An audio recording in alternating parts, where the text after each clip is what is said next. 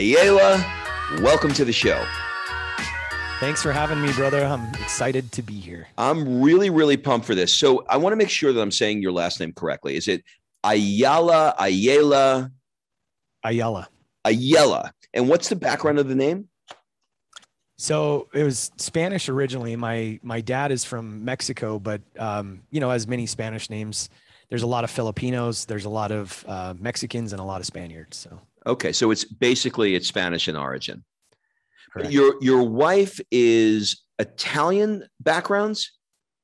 yeah, uh, she's probably third generation Italian. Okay, got it. Got it. Lot to talk about in that. But wh- where I want to start is I want to kind of take you back to the 80s.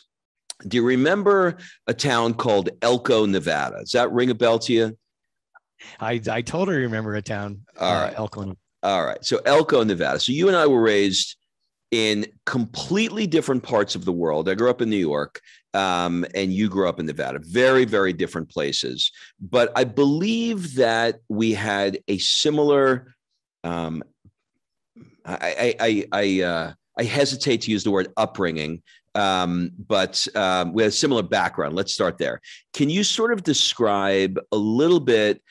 What family life was like for you back then because i really think that that dictates drive that we have as we you know get older so maybe give me a, a snapshot to what growing up was like back in you know elko maybe i don't know maybe uh those formative years uh, let's call it 5 to 15 somewhere in that range Yeah, well, what's interesting, so I never even really thought about this until you posed that question that way. But Elko was kind of like a, it was kind of like a new um, book, I guess, for me. Um, the reason why we moved to Elko, Nevada from Idaho was because my stepfather got a job in in Elko, Nevada. So, but I think backing up, I um, so my stepdad is a gem. He's amazing. Um, I actually, he's my dad. Uh, most people would not even know he's my stepdad. So, but backing up, my real father was a complete, I mean, he was just, he was lost. Alcoholic, drug addict, he was physically abusive. Um, you know, I my my earliest memories of my real father were, you know, basically he'd be gone for a period of time. So it was almost like as if he was working on the road or something. But the reality was he was on a bender. He would leave my mom, he would leave me. And so my memories of my real dad were really just, you know, a lot of them were him crying and apologizing to my mom. And as a little kid, like you obviously don't even really know what's going on. I pieced all that together as I got older. Um, but my mom finally left him. And this is the crazy part too. Sometimes my mom would leave. And now that I looked backwards, I mean, it was periods of time where she needed to get away from him and she would leave me there. And by the way, just a point of clarity, he did not physically abuse me. And so um, my mom was obviously comfortable leaving me there. Um, so my mom would leave. I was always like, my dad was either gone or my mom was gone. And so, but then my mom would always come, you know, marching back with my grandparents and they'd pick me up and they'd take me away. So, long story short, my mom finally left him when I was probably like for the last time, I was probably seven. And, um, you know, that was just kind of an interesting time. I remember staying with him and he'd be partying all night. And as a young kid, I just wanted to go to sleep. And I remember seeing prostitutes. I remember seeing, you know, pot plants in his house, all this crazy stuff. Um, during that period of time, though, my mom kind of disappeared for a little bit too. She was going and regrouping, and I lived with my grandparents, which that was the first stability that I actually had in my life was was living with my grandparents. And so that was probably from the age of six to you know probably nine was really when I had the first stability and lived with grandparents. And then, long story short, to answer the question around Elko, my mom started dating my stepdad. And for the first, you know, probably year, I didn't live with them. I lived with my grandparents. Um, my brother, who is also um, from my mom's first marriage, he was just a little, he was a baby when they separated. And so um, he lived with them. And then they ended up having my sister. And to make a long story short, I ended up finally moving in with them. And about a year, maybe two years after I moved in with them, we moved to Elko, Nevada. So So, you know, it's interesting because when I I think back on that time in my life, I how old are you now? I'm 43. All right, so I'm 55 and I spent most of my 40s really fucking pissed at my father. He was an alcoholic. I was I was physically abused and there came a point in my life where um I needed to resolve that anger because if I wasn't, it was just it was just going to kill me. And I remember he came to the end of his life. Uh, he died a few years ago, and we had a healing. You know, like maybe two or three years before he died, and I had to free it. But now, looking back on that time, I, I think about. I don't know that I would have had the drive that I have now for the normalcy of a healthy and happy family. I don't know that I would have the entrepreneurial drive because he was a truck driver. So everything that I saw, while there's no excuse for the abuse, everything that I saw during that time in my life has served me. And it's taken me almost to 50 years old to figure that out. So I'm wondering if you feel any of that, because I know a lot of people listening right now are still blaming their parents for their shitty life, you know? Um, so I'm wondering what your thoughts are on that. Well, I, I love I love the way that you said that because I you know I've done a lot of deep work over the last few years and I'm still working with a coach. His name's Dr. John Ryan, amazing human. And I, am thinking about um, when when Kara and I first got married, which we've been married for 22, almost 23 years. Uh, I'll never forget. She was she was 19, I was 20, and I remember having a conversation with her um, we dated in high school, so she knew quite a bit about my background. Um, and I'll never forget when we were getting married, she was like, I feel like, or about to get married, she said, I feel like you should go find your dad. I feel like you should bring some closure to this so you don't bring it into the marriage, which mm. was like, I mean, a brilliant thing for a 19 year old to say. But also, it's like the cliche thing that, you know, automatically, if you've been through issues, that you're automatically damaged. And I think uh, there's a couple really amazing things that you're really digging on here. Number one, um, doing this deep work with Dr. John, um, I went through a process then when Kara said that, and I really came to the conclusion that, you know what, I don't need to find my dad. I'm okay. I'm okay. I hope he's okay. I'm not opposed to talking to him, and I think everything would be fine. If he needs to have some closure, great, let's have it. Um, but that was kind of my thinking going into that. And then working with Dr. John recently, it all came up again. I'm like, doctor, I want you to really dig on this. I want to make sure that like I'm good. And we've went through this whole you know he's he's um, he's got a lot of backgrounds phds and but he does a lot of deep work too. And you know through that process i'm okay. But i'm actually at a point now rob where i actually do want to find my father. And i might have even told you this jokingly but but it's really kind of half jokingly. It's kind of true. I want to find my dad because i want to get my mexican citizenship. Mm-hmm. but i'm also at a point where you know i'm i'm completely good talking to my dad finding my dad. But i don't need to see my dad to bring closure to me. And so the real question, and I think this is brilliant, I think we can learn as much from negative influences and negative situations and the things that we don't want in life as we can from the positive ones. And so I have a lot of mentors that I want to mirror, and I have a lot of mentors that I absolutely don't want to mirror. Um, and I think that's what my dad taught me. I want to be the father who's present. And my kids are now 21, 19, and 17. And I can honestly say that even through growing businesses, I love work hard, play hard you know, we've got a mutual friend, um, Kyle Depias, uh, Work Life Rhythm. Is that coming through? Sorry. No, you're perfect. Okay. Um, so the Work Life Rhythm, uh, all of that, that's been my thing from the beginning is, you know, watching my dad not be there. I just wanted to be the best dad in the world. I wanted to be present. You know, I, I didn't want to be abusive. I not, I mean, not even just physically, but even emotionally. So I learned so much from growing up in that scenario that um, became a positive influence on who I am today. And I think people just don't realize that. And, you know, you made the point that so many people are blaming their parents for their situation in life. And we got to flip that story. Yeah, because- we have to. We have to. You know, con- contrast, I heard contrast creates clarity. So when you have this contrast in your life, it gives you the clarity to go, I, I don't, I don't want this. Like I, this is like I had an abusive father. I am not going to hit my kid. I had an alcoholic dad. I am not going to become an alcoholic. You know what I mean? So that contrast. But you know, a friend of mine um, who you're going to meet um, uh, because you're you're in uh, my masterminds. Um, his name's Darren, and he said to me, he he's one of these guys. You're going to love him. Um, he's one of these guys who says very little, but when he opens his mouth, everybody listens because he's really, really, really smart. Um, and he said to me, and he always asks rhetorical questions. He's never looking for an answer, but I know what he's doing. He said, um, Don't you think there's a statute? I wrote it down because I wanted to get it right. He said, Don't you think there's a statute of limitations on childhood trauma? Mm. And I went, Okay, let me think about that. He's, I'm, I, I get it. If you want to be pissed, I understand that. But when does that end? Should there be a yep. statute of limitations on that? And I went, that's good. That's really yeah. good. And that was really helpful for me to, you know, to move on with the healing. Um, okay. So I want to move um, up in age a little bit. I'm going to take you to around 22 when you uh, completed the Associated Builders and Contractors. It was a, a four-year project project management program.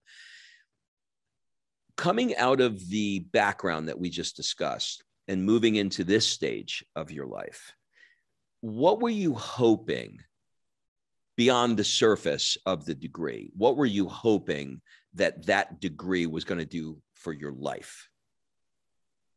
It's such an interesting question, and and to look backwards, um, there there's a gap in there. Um, so I did end up going off the deep end. I mean, when I was in high school, um, ended up, you know, I mean, I started drinking when I was in ninth, actually eighth grade um, drinking and then we started smoking pot and I ended up doing meth through school, ended up in jail. Kara and I were separated for this little period of time, which I don't want to dwell on that. But coming out of that whole situation, I was a functional drug addict. Um, but coming out of that whole situation and sitting in jail, I realized that this isn't the life I wanted. And, you know, I started working for this company when I was 15 during the summers.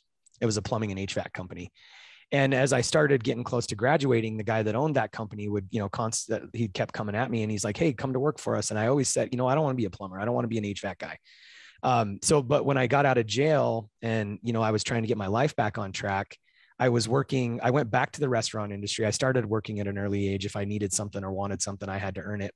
So I started working at the restaurant at early age. And then when I went to jail, when I got out, I decided to go back to the restaurant industry. I had a mentor there and he gave me a chance and went back and got that all straightened out. Well, then I progressed and I started working with a buddy of mine at a uh, this um, a hydraulic hose shop. And I, I this is really the answer to your question. I started thinking like, what do I really want? Um, and I knew I didn't want to like work at a, a like a hose shop for the rest of my life, but I called that guy up. His name was Doug Snyder. And I said, Hey, is that apprenticeship still available? But I wasn't really thinking through like my future and I want to be a plumber. I want to be an HVAC guy. Um, he said, Yeah, absolutely. You can start Monday. And I called Kara and I'll never forget this. And she actually talks about this a lot. I called Kara and I said, Hey, I'm going to take this job, but just so you know, um, I'm starting next week and I'm going to be working out of town. And she actually tried to convince me not, not to take that job because we were young and we were dating and we were in love. And um, that was kind of one of those pivotal things. And so I think the question is, you know, when, when I graduated from Associated and Builder, uh, Associated Builders and Contractors, that was like actually four years later. Um, but I wasn't really thinking about, you know, what I wanted my life to look like. And I know that sounds crazy. And I think most people are walking through life that way. I didn't really have this outcome where I said, you know what, I'm going to finish this program and I'm going to be an entrepreneur. I'm going to be a business owner and eventually own real. I, I wasn't thinking about any of that.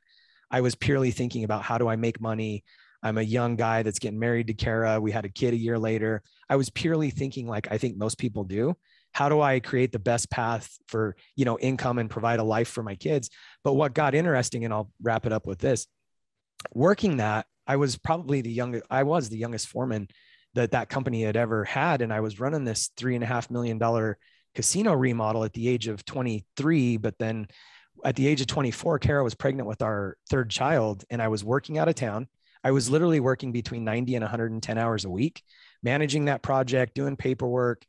And I would, I would leave the job site at seven, eight o'clock at night on a Sunday. And I would drive home. I would have a cold dinner. I would wash my clothes and I'd go back and do it all again at three o'clock the next morning.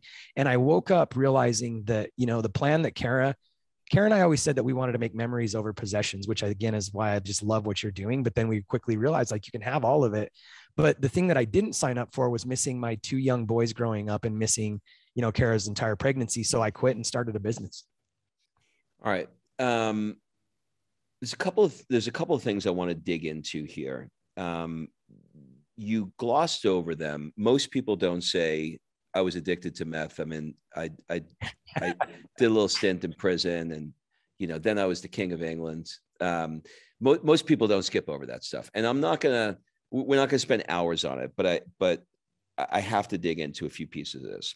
Um, can you walk me through, just so I understand, that first moment where you took a hit of meth what was going on in your life that that seems like the logical next step because there there might be somebody listening right now that is in that place how do we how do we help them like where where were you at that moment this is this is crazy um so i worked at denny's mm-hmm. um i started working at denny's when i was 15 and the manager that I said I went to work for after I got out of jail and was a mentor of mine, he was my manager at Denny's, but then he went off and started another company. And the manager that took over at Denny's was a drug addict. Um, and you know, Kara and I've had this conversation a lot because every time as a as a teenager that I had a like a really negative pathway, there was an adult on the other side of that influencing that, which is an interesting, you know, thought process. So anyway, I'm working at Denny's um, I always worked really hard. Like I said before, if I wanted something, I had to earn it.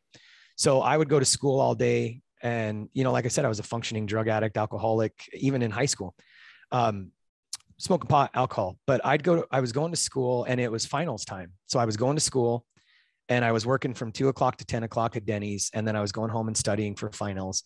And I came in one day and I was so tired. And at this point in time, I had gone from a busser to being a line cook. And there was a guy, there was a guy that I cooked with. His name was Kyle, and he was probably 45 years old at that point in time. He was a functioning adult drug addict. And I, I came in one day and I was so tired. And he's like, Mike, you look, man, you look bad, man. I'm like, well, I'm working, I'm, you know, studying for school. And he's like, here, try this. And he hands me a little piece of paper with some folded up meth in it. Um, and I went home and tried it and didn't sleep that night and then went on a that that's kind of where it started oh my god i cannot believe you know when i think of somebody doing meth i i, I think of a crack house and there's somebody with tattoos and greasy hair and they've got a you know a, a rubber thing around their arm or you know what i mean these pictures that you see but i don't think of an adult that is casually handing somebody who's tired, uh, you know, meth to do. So, um, okay. And, you know, the rest of that story, I think a lot of people can fill in the gaps. It'll make a lot of sense. But now you find yourself that there's a moment where you're in jail. How long were you in jail for? Um, it lasts, it was about a month. Oh, okay. So it wasn't like years. All right. So it was like no. about a month. Was when was the moment when you were on the other side of meth and jail where you hit thresholds and you said, I'm done? Not another minute, not another second, not another moment. It changes and it changes now. When was that moment? It was a it was a progression that started before I went to jail. Um, it was kind of interesting looking backwards. I mean, I think sometimes the universe has your back, and and uh, so before I went to jail, I found myself at a spot where, you know, I I had lost my job. I wasn't able to pay my rent in my apartment. And by the way, I'm 17 at this point in time, almost 18 because I graduated early and all this stuff. Um, I started looking around and I started realizing that this wasn't the life I wanted when I lost my apartment. I was homeless for a little bit, like couch surfing, sleeping in my truck, which my parents wouldn't give me, all this stuff and I started looking around and I started realizing like this is not the life that I want, but I kind of didn't know how to get out of it. And that's the thing that, you know, I've really I've employed a lot of people, um, you know, even against sometimes, you know, other people's best advice and everything else, because I've often said this, you can't help someone until they actually need it, but when they actually want or until they actually want it, but when they actually want it, they need a community of people around them. And that's really the thing. When I was done, um, I, I ended up getting arrested. I went back and actually one one Friday I had got in contact with all my old friends from high school. I said, "Hey, let's just go out and drink." Like drinking was kind of like the the um the the way out of this and I ended up getting arrested that night. Um the all the narcotics division came and arrested me and uh, it was just this weird scenario. If that had happened a week before that, I probably would have been in prison. Um, but they arrested me with a beer bottle in my hand and a piece some paraphernalia in my pocket and that's what landed me in jail for just enough time to make me realize I was already thinking like this isn't the life I want. And while I was in jail, and I think this is important, um, my parents were done with me. They had a restraining order on me for right reasons. I mean, I would I broke into their house, all kinds of stuff. But when I was sitting in jail, Kara, who you know, her and I had split up for a while for again obvious reasons. She wrote me a letter in jail just telling me about you know God and and her her parents had basically said that when I got out, if I needed help, um, they were there to help me. And I'm just like, what is this? Like, what? So I'm sitting here in jail. She sent me a Bible. I'm just like thinking about, you know, all the good people in the world. And um, long story short, when I got out of jail, I was like, this is not, I didn't want to continue that trend. And so I started going to church and, you know, Kara and I slowly over time started dating again. And on the other side of that, there was like a purpose. I, um, you know, it's not enough to want to get clean or to want to change your life. On the other side of it was a group of people, a community that surrounded me and helped me get through it. So I did relapse. I, I relapsed once. Relapse once. and are you completely sober now, or um, would that be the wrong word to describe you?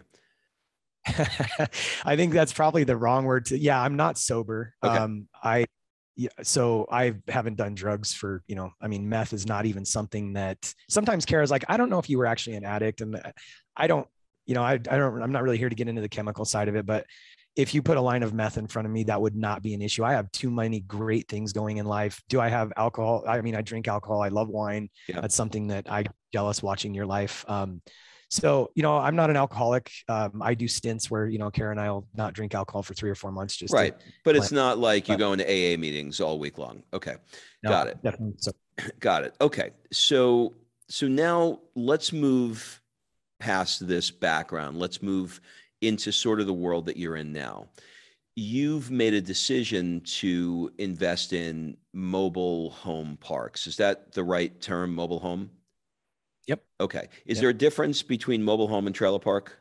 Just for the. Um, yeah, you know, I think the only real common misnomer um, we call them manufactured home communities now. These are these are not RVs. They're not technically mobile. You know, they're um, in the sense that if if people think of a trailer park and you think of like manufactured homes that don't move, then yes, that's that's what we're that's what we're investing in. Okay. When, why? Let's start with why. Why did you mm-hmm. choose to invest in mobile home parks um, outside of a business decision? In other words, was there a piece of you that felt like I was kind of a kid that was in this place? And mm. is there a king of the mountain thing for you? Like, I'm coming back and I'm going to own this bitch? Or was there a, a piece of you that was like, I'm, I'm, um, uh, they need my help like what what was the emotional component there you know there it, it was it was an investment of opportunity um, which we can dig into a little bit um, but having since um, gone through that there there is a part of me so you know i lived i lived in a, a manufactured home community a mobile home park in a 1976 one bedroom one bath with five of us growing up it's some of my you know best memories and so I think what has made me a good operator is understanding the humans that live there and they're just people trying to do what everybody else is trying to do. And so I think that's made me a good operator. But no, it's not a king of the mountain scenario. It was purely, um, I'll make this quick, but when Kara and I started our first business, I was at a business planning event with a consulting company. And they basically, the whole first day was around, and, and one of the guys who ended up becoming my coach said, if your business isn't helping you achieve your personal goals, you just own a job. And that hit me like a ton of bricks. And so he said basically the whole first day was around designing what your life wanted to look like and making sure that your business is always helping you achieve that and not that your business is running your life. So Kara and I set a goal of buying two income producing properties a year for 10 years. I came back from that event in the first year we bought two single family homes. And in my mind at that point in time, Rob, I was probably 25. In my mind, I thought if I bought 20 single family rentals by the time I'm 65, I could retire off of them. So I bought two the first year. And then the second year, this mobile home park deal falls in my lap. I was scared to buy this thing. It was 72 spaces, um, basically 72 tenants, right? And my big grandiose goal was to have 20 tenants. So I went to a mentor of mine. And long story short, I said, Hey, I've got this deal. He said, You're lucky that you're my friend because I would take this deal, go buy this thing. The person that was selling it, she had a first position note on it for 390. She wanted 480,000.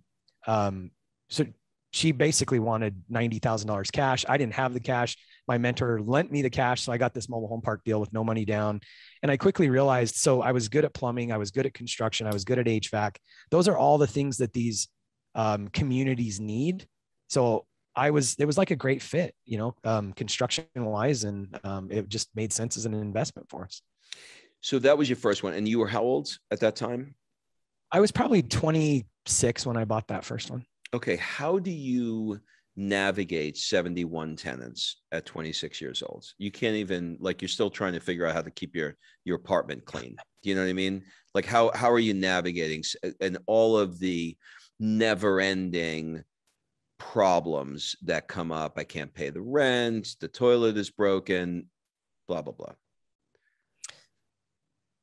Um this is easy to say now, but as a young entrepreneur slash investor, um, you know, I was I used to call it stacking bodies, which sounds horrible now to me, but um, I I was growing so fast. By the way, our business was on the Inc. fastest growing companies in America in 2009. So at every step, I was just Rob. I was like, how do I find someone to help me do this or that? And um, you know, I've just been fortunate that I I think I'm a better you know people person and organizing the troops uh, I'm a visionary at my core. And what I realized at an early age is that you need people to do that. And so even at the mobile home park community, it came with this older lady that lived there. Her name was Frenchie.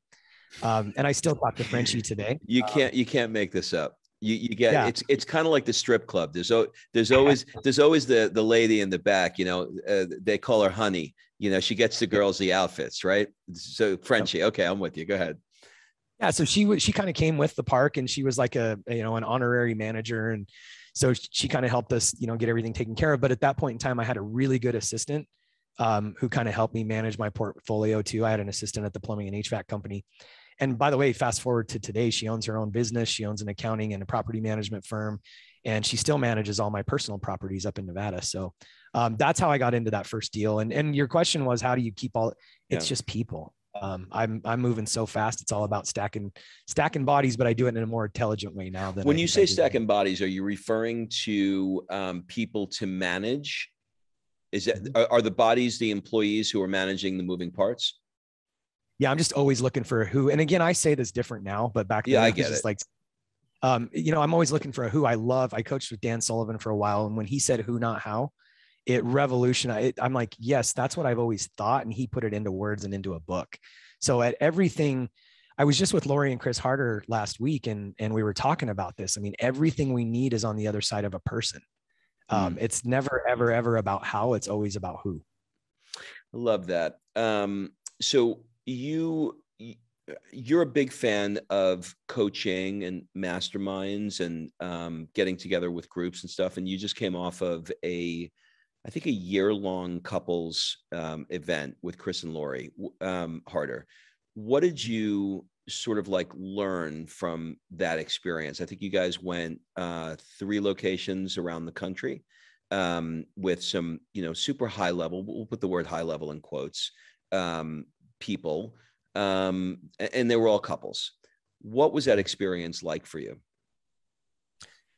Chris and Lori did such an amazing job of assembling um, humans that you know we we may not we may not have connected otherwise, and and you know a, a lot of times when you get together with a group like that that's curated, um, we're not from different completely different backgrounds, and we wouldn't you know we wouldn't meet and be like hey let's go to dinner, and so that was probably one of the biggest things that I've learned along the way is um, some of my greatest relationships are not people or couples that I would have chosen to hang out with. And so it's really taught me that, you know, our comfort zone or the people that we feel comfortable hanging out with are probably not the people that are going to, you know, bring me to my highest level. And that's probably the biggest thing that I learned this year. Cause mm.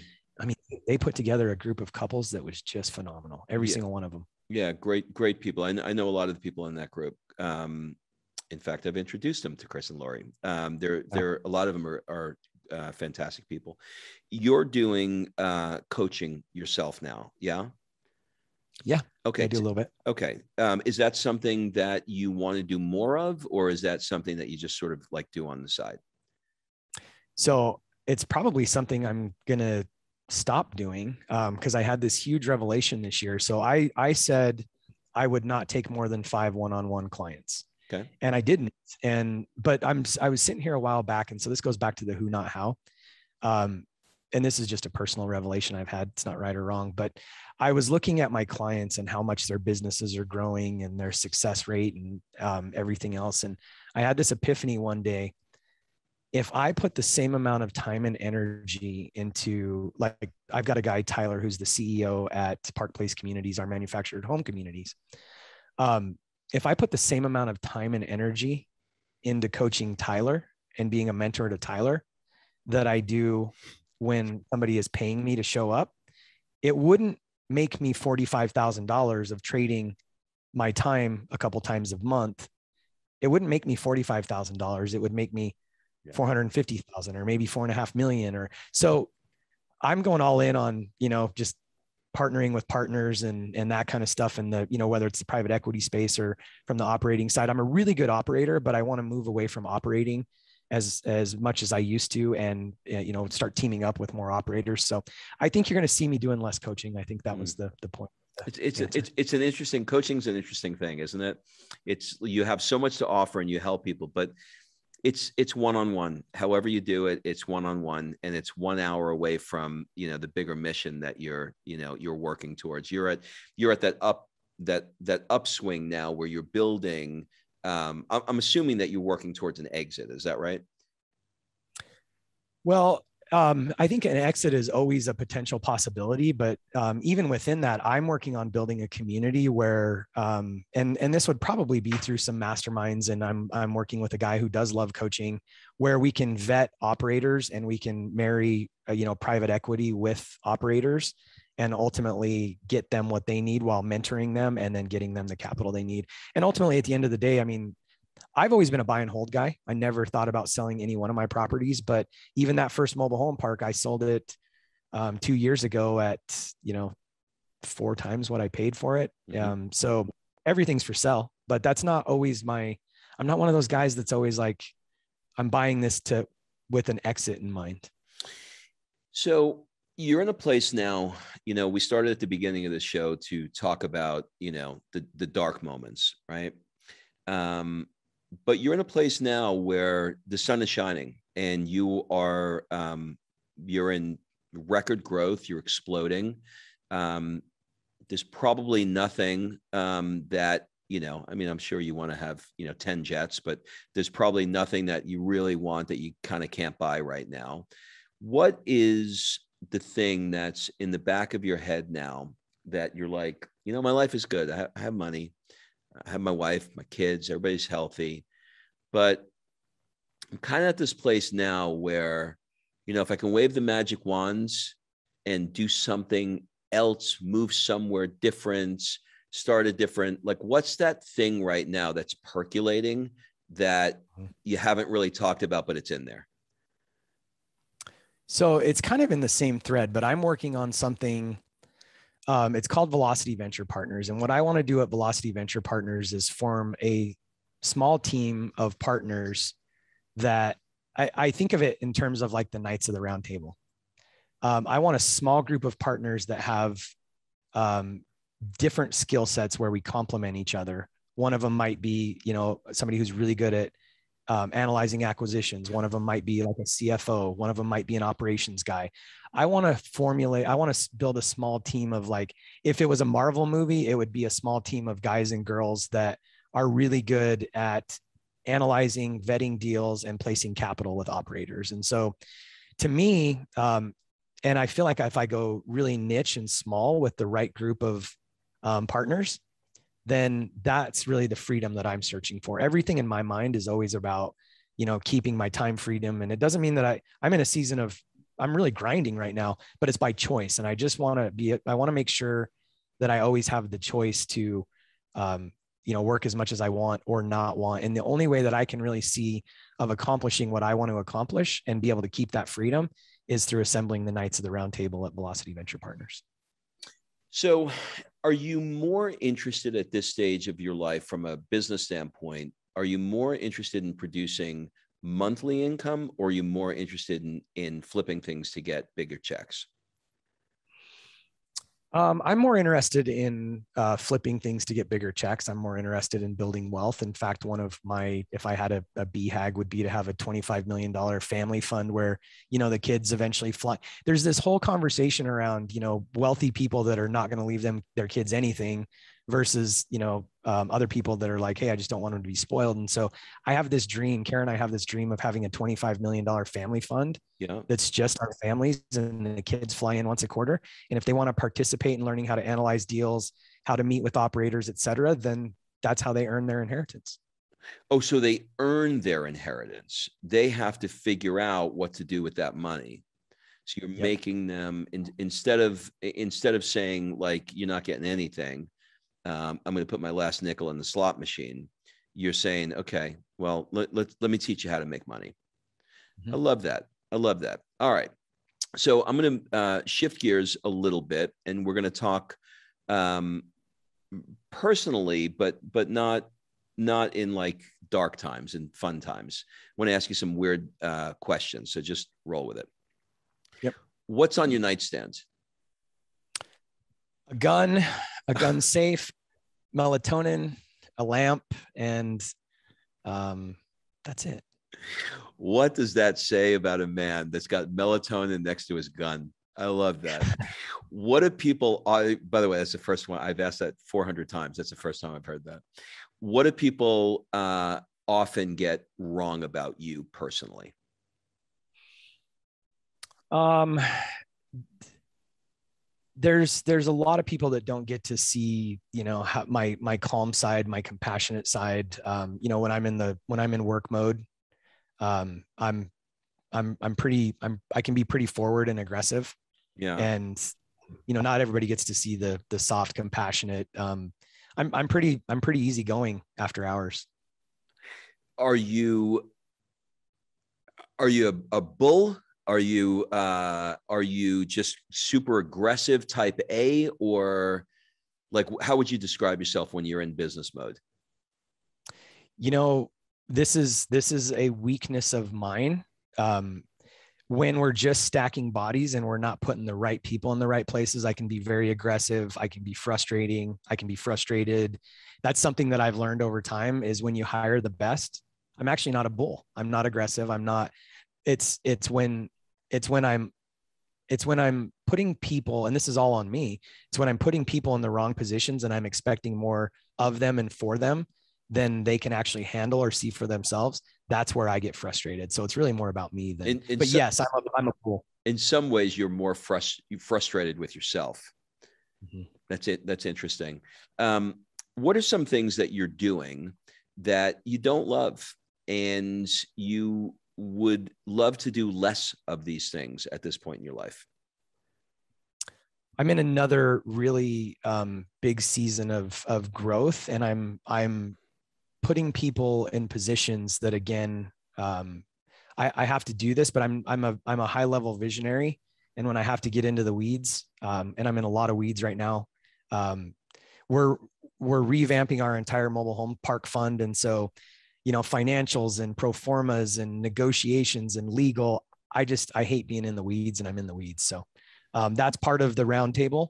If i could get a cfo eventually and somebody who has high level legal exp- i've got great attorneys but they're also you know $500 an hour. So if i could assemble the right team over the next couple years that's going to eliminate a lot of that.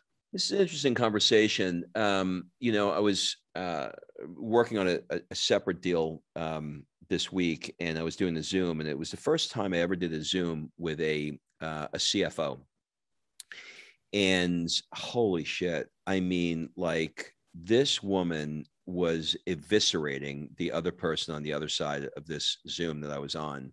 And they are so skilled um, at the area of finances and law and technical things that it's very interesting because the person I was on the call with had he's got a C suite, right? And he's got a CFO, he's paying 375,000, a, a, a COO that's 400,000.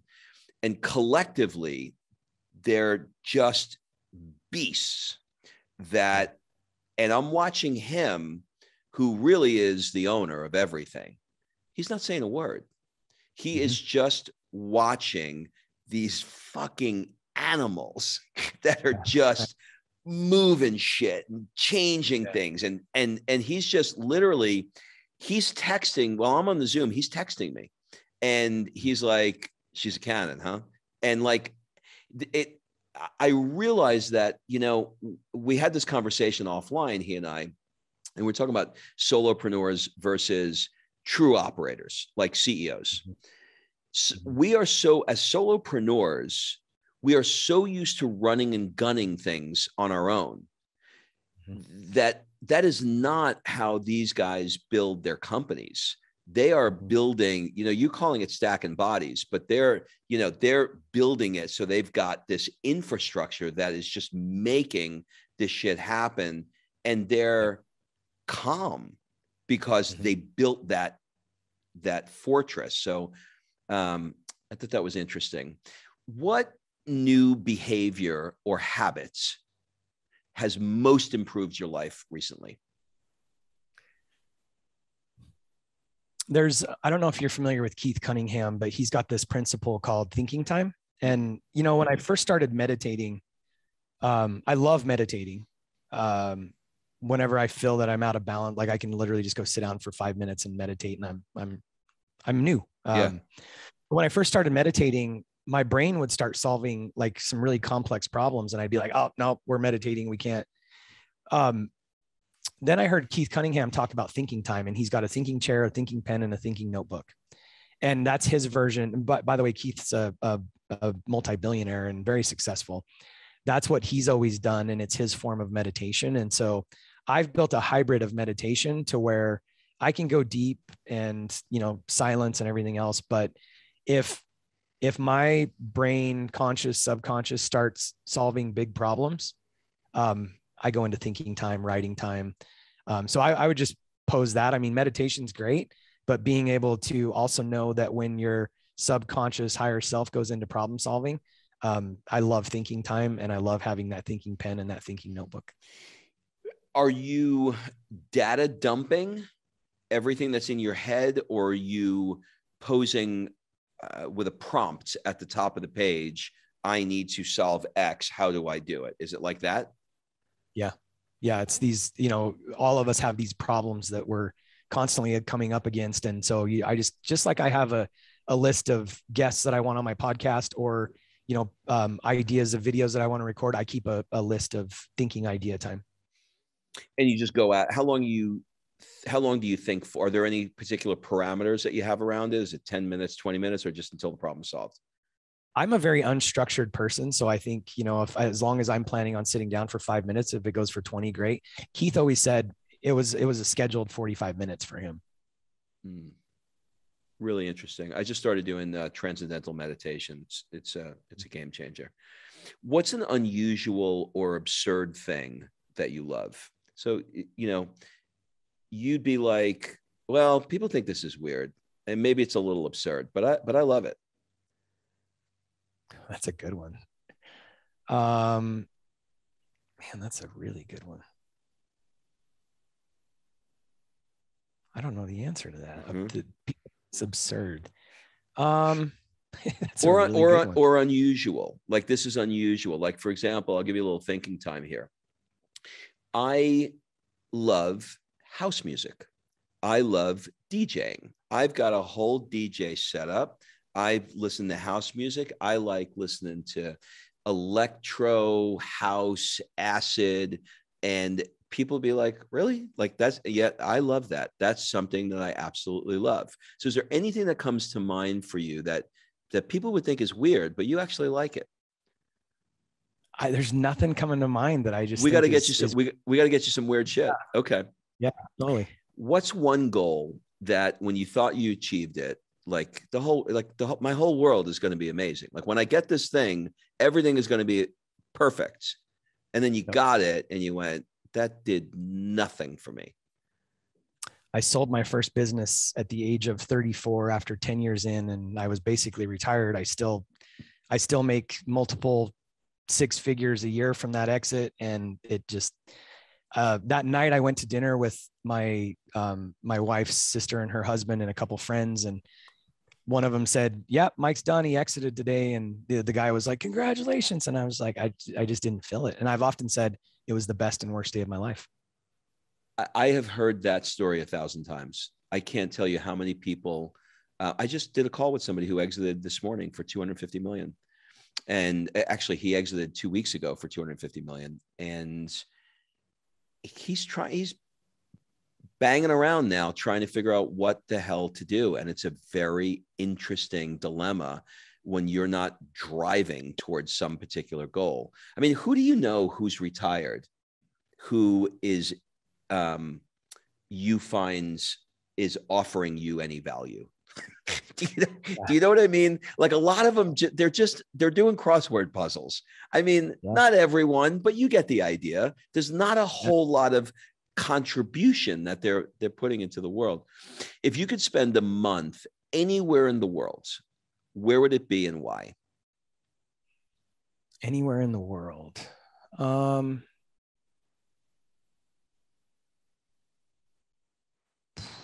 it's funny because we have a list of places we want to spend. Um, but when it's said when you're say anywhere in the world, I think Bali. I've spent a lot of time in Indonesia, but um, it's just it's been calling to me. You know, I think I want to I think I want to go there. It's really I'd interesting. Like I did a uh, I did an interview with somebody, um, and we had a conversation. She lived in Bali for years, and she said Bali is like um, the womb. When you get there you feel like if you're called to it you get there you feel like you're in your mother's womb. It's it's beautiful and it but there comes a point where the mother spits you out spits you out of her womb and you can't live there anymore. She said i've seen it a thousand times. So it's this weird i've never been it's this weird place that draws you in and then will spit you out when it's done with you yeah. Well, Kara's parents um, left about two months after we got married and lived there for 12 years. Oh, so you and know. So we, yeah, we visited a lot when when we were younger, but I'd like to go there and immerse for a little bit. That's interesting. Um, are they still there or did they move back? No, they've they've been all over. They lived in Africa and um, all over the place, but now they're in Wyoming of all places. That's really interesting. That's unusual. There, there are not many parents that you hear that do that sort of thing. That's really cool. Well, he was a gold miner, so you know that, ah, that okay, that makes sense. Um, are there any positions or opinions in the last few years? It could be way back. Doesn't have to be in the last few years that you've changed your mind substantially about. Where you, you know, you used to. I used to feel this way about it, but I changed my mind. I, I don't feel that way anymore. Yeah, there's actually quite a few that I can think of, but um gosh, there's so many. Um, you know, the way I think parenting, I mean, our kids are 21, 19, and 17. And, you know, the way that I thought about parenting probably 10 years ago, I'm, I'm, I'm quite different now. Um, and I, I think there was a version of it that we saw all the way through, but, um, as I've gotten older and I think backwards, a lot of my preconceived ideas about how I should parent versus how we actually ended up parenting and then what I would say to others have changed quite a bit. Mm. All right, we're going to do a speed round in our last five minutes here. What would your friends say is one of your superpowers? Um, making complex things simple. I'm a pretty simple guy. People think that you know I'm this genius, and I'm I keep things simple. What keeps you up at night? Um, you know, the world is changing so fast. Um, I think we're kind of in this exponential um, age of change, and just trying to make sure that I'm not thinking through yesterday's lens. I mean, even mm. whether it's how we mm. analyze real estate or whether it's, you know, how we used to think about managing employees or any of that. It's how do how do I not get stuck in the way that in, you know, yesterday's tactics? Mm, that's really good. Um, what do people never ask you? But you wish they you wish they would. They never ask me this question. They always ask me about real estate. They always ask me about making money but they I, wish they would ask me this. Mm-hmm. How some people ask this, but very few. How how do you how do you manage and build everything you've built and not miss a game and be present for your children and um, keep family first? It's a great, it's a great question. What's the answer? People like it's, it's who, not how it's, you know, even back to keeping complex things simple. And when you're talking about, you know, your buddy and and his C-suite, that's my Knights of the Round Table. I I had a mentor one time that said, if you're the smartest guy in the room, find a bigger room. I want to be the dumbest guy in the room. I actually I got really excited internally when you were talking about him in that meeting, him being quiet. Um, I I don't want to have to say anything.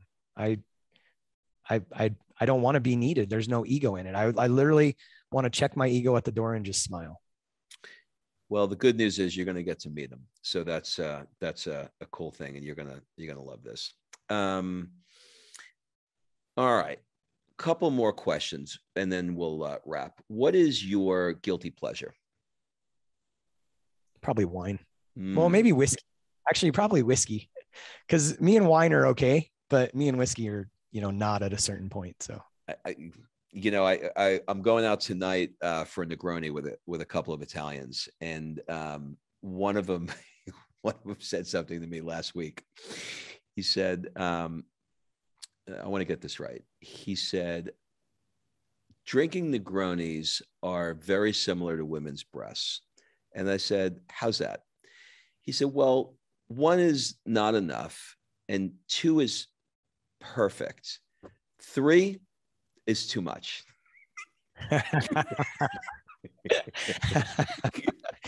Oh, I like that. Oh, that's that's absolutely perfect. Okay, last question. I know that you're going to be interviewing me, so it's a kind of a not a fair question. But if you had to ask me, uh, what one question would you like to ask me? What's been the hardest thing of transitioning to your life in in in Italy?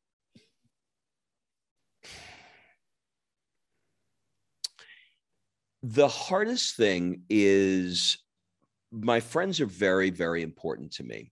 Uh, the friends in America, and um, when I moved to Italy, and this is like you know my friends listen to this podcast, so I don't want to sound like poor me, but the the texting and phone calls and time together obviously we're an ocean apart so that's not easy but the texting and phone calls almost came to a complete halt. Mm, and when i uh, i was not prepared for that because you know you think we're in the digital age and you know we we have a, a little thing in our pocket that can connect with anybody at any moment in 17 different ways. But there is there's a weirdness about it. Like um i was talking to chris harder about this last week. We did a zoom together and um this guy i was talking to about that exited his company and uh, my other friend darren that i was telling you about earlier that you know talked about the statute of limitations on on childhood trauma. Um, the three of them got together and went to miami.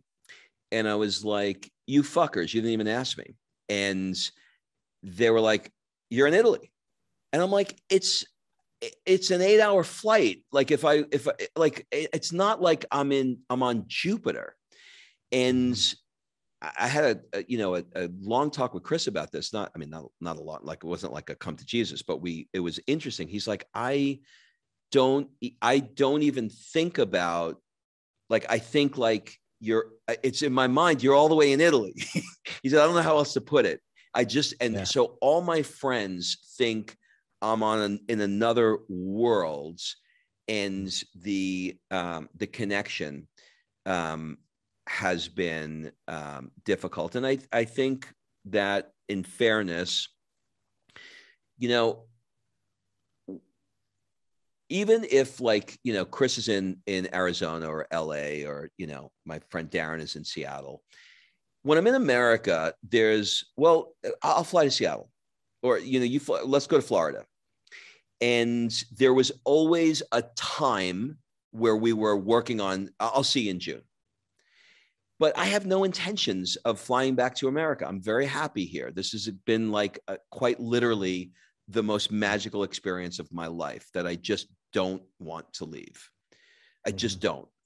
And so there's none of that. And they know that. And I know that. And so ca- continuing the relationship um, has been difficult, difficult. So I would say that was, that would be the biggest answer there. It's not what, and I did not expect that, you know? Yeah. Yeah. It was a weird thing. Well, listen, um, this was amazing. I have so many um, new insights and I got a lot of notes here. Do you have any, any final words, suggestions, or an ask for the people that are listening?